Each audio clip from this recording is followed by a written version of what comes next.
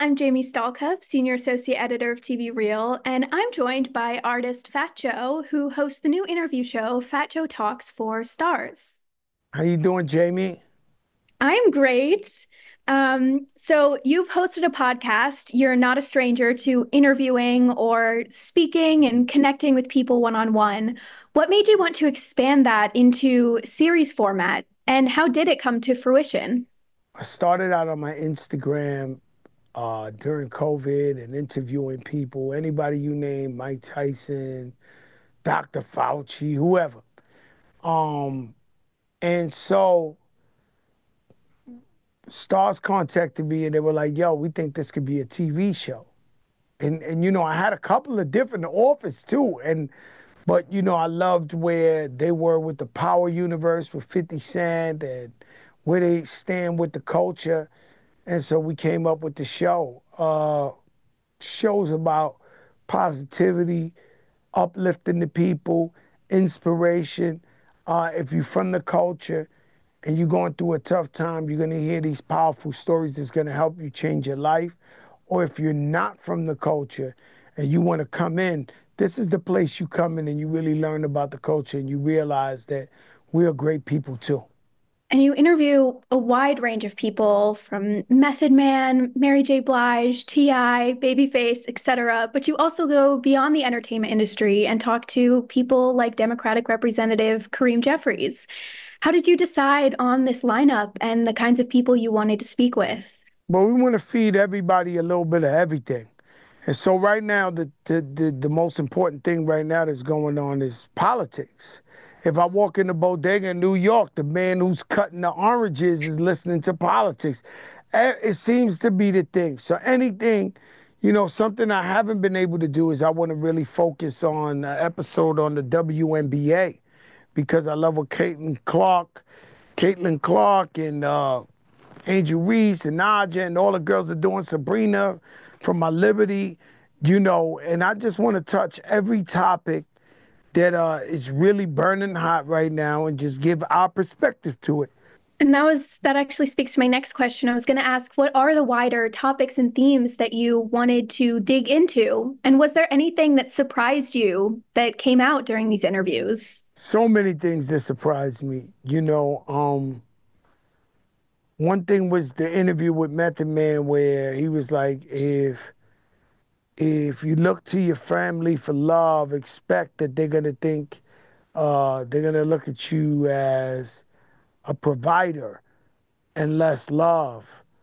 And he opened my eyes to that. Like I've, like I've, like since then I've changed. I'm looking around to see if my wife really loves me, my daughter really loves me, my son. I'm like, yo, am I just a provider here? But uh, it, it, it's a serious question. And I know you're not just sitting down and interviewing in one set spot for the Method Man episode. You go to his hometown to film there. How did you decide to do that? Well, we um definitely very Anthony Bourdain inspired. So I've always was a fan of Anthony Bourdain.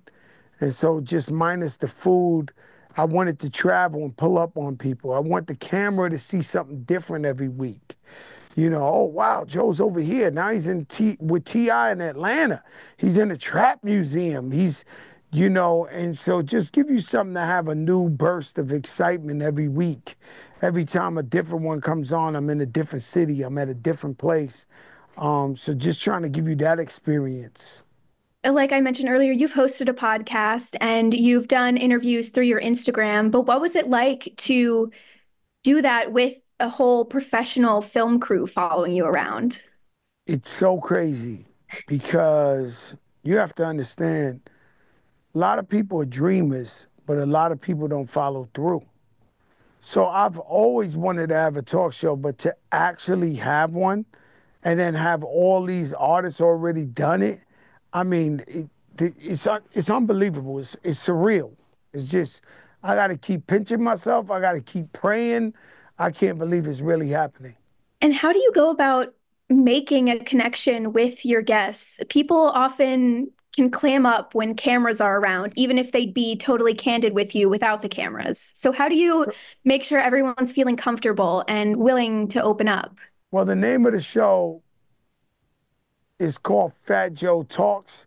It should be called Fat Joe Talks a lot. And so most of these guests I know, and even though they're the ones that usually don't talk, I'm going to get it out of them. We're going to talk. We're going to be comfortable. We're going to have a great time. Uh, somebody like Babyface, he ain't doing interviews since Whitney Houston passed. So he don't even talk when I'm at dinner with him. Like we just hanging out as friends. So I know I got to warm him up. We got to talk about something he wants to talk about and give the people something they've never seen from Babyface before. Well, that's amazing that you were able to get him to open up and feel comfortable enough to do that on camera. Yeah, Method Man don't talk much either. So, like, to get him to open up about depression, family, all these issues is, is, is really great. Ultimately, what do you hope viewers take away from watching these interviews? Just learn from our mistakes, learn from where we came from, learn not to judge nobody prematurely, because uh, you never know what artist is going through what at certain times. You know, um, but you're gonna learn all about that, all about that adversity, the triumph, and you know, people who win. Whether you're a mechanic or you're a school teacher, you could be a writer, you could they all have a winning DNA. They don't know how they're going to make it, but they're going to make it. And so that's important to everybody out there because all these ideologies and everything that's, that, that we're going through um, pertain to you. And so it's important.